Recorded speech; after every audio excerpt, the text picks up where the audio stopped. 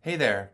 In this video tutorial, we're going to cover everything you need to know about getting your metrics and video stats from your Potion account.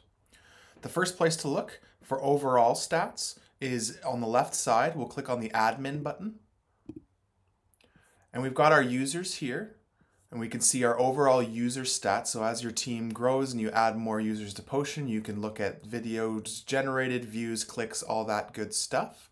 And then we can go dive deeper another layer into videos specifically, and you can look at each individual video and how things are looking for um, that person. We can search by video title or by creator email if you want to dig down into one particular user's videos and take a look at their views and clicks and understand what's going on with that production.